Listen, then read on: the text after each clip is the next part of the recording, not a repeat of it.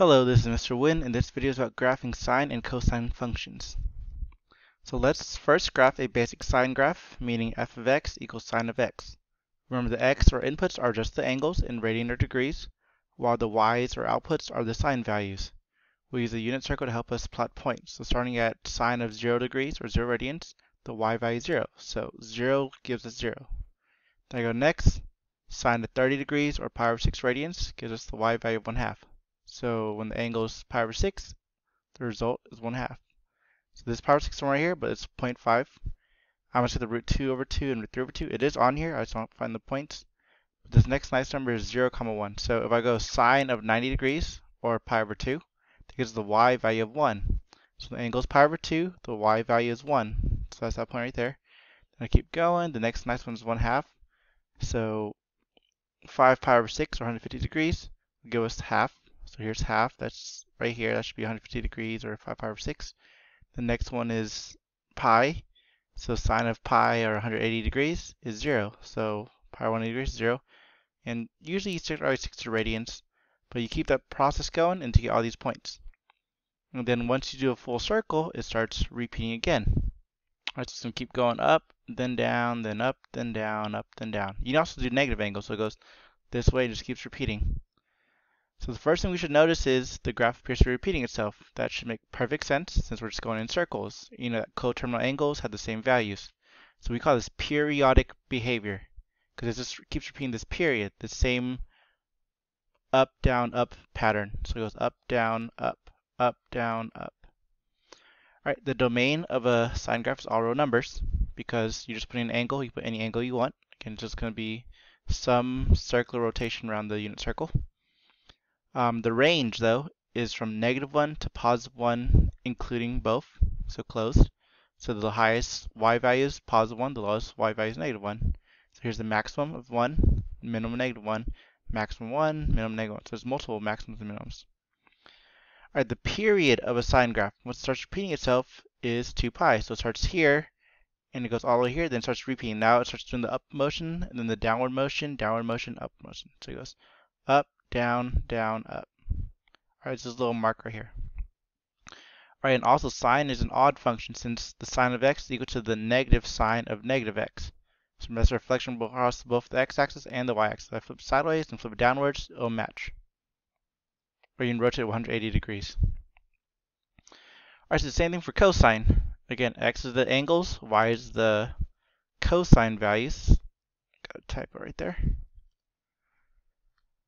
Alright, again, the unit circle helps plot points. So I go to 0 degrees. Cosine 0, well, the x value of this is 1, so that's why it's 0, 1. Then I go next nice point, it goes pi over 3, or 6 degrees, is 1 half. So it's about right here.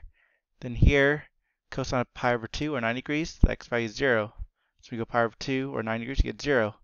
You repeat this process all the way to you finish this whole revolution. So once you get all the way to 2 pi, go back to 1. So it goes this way. It goes down, down, up, up. And that's a period because it's going to repeat. It's going to go down, down, up, up, down, down, up, up. So it makes this little shape. So like before, it's repeating itself. Again, makes sense because we're going rotations around the circle. Periodic behavior. Domains all numbers. When you enter any angle in radians or degrees. Uh, range is also negative 1 to 1, closed because that's the highest can go and the lowest can go. Um, period is also 2 pi because that's when it starts repeating itself after it goes a whole circle. And cosine is considered even because the cosine of x is the same as cosine of negative x. Alright. Now if you didn't notice, a cosine and sine graph have a lot in common. In fact, they're actually the same graph, just horizontally shifted. So here's the red line, that is sine x. The blue line is cosine x. And cosine 6 starts at 0, 1, while sine x starts at 0, 0, the origin. If I move this green, or sorry, the blue line right pi over 2 and overlap, it'll be perfectly the same. So actually, uh, sine of x is equal to cosine of x minus pi over 2. So here's the graph. Here's sine of x. Here's cosine of x. So if I want to shift it to the right side, I'm do minus pi over 2, and it's the same graph. I could also shift it other way. I could have, instead of going right pi 2, I could have gone left uh, 3 pi over 2. So if I do plus 3 pi over 2, it's going to be the same graph. So let's try it. So let's make it plus sign, then 3 pi over 2, same graph. All right. So last slide I mentioned horizontal shifts. Well, all of the A, B, H, K transformations still apply, even the trig function graphs. So we'll have the format f of x or y equals a times sine of b parentheses x minus h, close parentheses, then plus k, or for cosine, same idea. But there's a, b, those are the multipliers, and there's h, k, those are the add and subtract. And uh, in case you've forgotten, they do the exact same thing as before. So a reflects over the x-axis if it's negative, so upside down. Is a vertical stretch if it's bigger than 1. Is a vertical compression if it's smaller than 1. B reflects over the y-axis if it's negative. Horizontal stretch if B is smaller than 1. Horizontal compression if B is bigger than 1. Again, this is opposite. So if you see B is 2 over 3, you say, oh, that's a horizontal stretch by 3 over 2. Alright, H shifts left to right, again, also is opposite, then K is up and down. Also, remember the trick part, if you see B and H at the same time, you must factor out the B to see the true H. A lot of people forgot that and they get things wrong. Now, one also other thing I need to say is this. Before we start analyzing transformations, I'll mention that for trig, they actually renamed the letters A, B, H, K into A, B, C, D. But they do the exact same thing. So you can use either format you want, but don't be surprised when you see a times sine of b of x minus c plus parentheses plus d. Uh, you actually see the same format in physics when dealing with waves. Maybe you remember, but a is amplitude, b is period or frequency, c and d are what we call phase shifts. Again, it's up, down, left, right. All right, let's try breaking down transformations. Uh, we do need a little more vocabulary. So let's go back and compare the original parent, y equals sine of x, to y equals a times sine of b of x minus h plus k. If I match the format, notice that a is 1, b is 1, h is 0, k is 0. The first thing you should do is actually look at k. So since k is 0, we're not moving the picture up or down. So our middle will remain the x-axis. The x-axis is also known as y equals 0. This is referred to as our midline. It's very important. You, it will always match k. Find this first because it'll help you do the next part. That's why I drew the dotted green line. Next we go to A. A equals 1 in this case. Besides flipping the picture upside down or not, is our vertical stretch or compressed factor. Since it affects our height, we refer to it as the amplitude, meaning how high above or below the graph goes from the midline. So this is connected to the midline. So midline was 0. If I add 1, because that's what A is here, it goes up to 1. That's your max. If I subtract 1, it goes down to negative 1. Last is B. B is 1, besides flipping sideways or not, it's our horizontal stretch or compressed factor. Since it affects our width, how wide it gets or how skinny, uh, skinny it gets, it affects our period. It depends how fast we repeat our shape. Alright, so either increases it or decreases it. The period formula is going to follow this formula. P equals 2 pi, the period of what we're graphing. So for sine and, and cosine, the period is supposed to be 2 pi, that's a full circle, over B. So here's a harder problem we're going to graph this. y equals 4 times sine of 2x minus pi plus 2. Now, a lot of people think that h is pi, so it's going to write pi, but that's wrong. Remember, you first have to factor out b, see the true h. So if I take out 2 here, and is in the parentheses since I sign, if I divide both sides by 2, it'll be 2 parentheses x minus pi over 2, close parentheses, close parentheses. So really, we're going right pi over 2 and not right pi.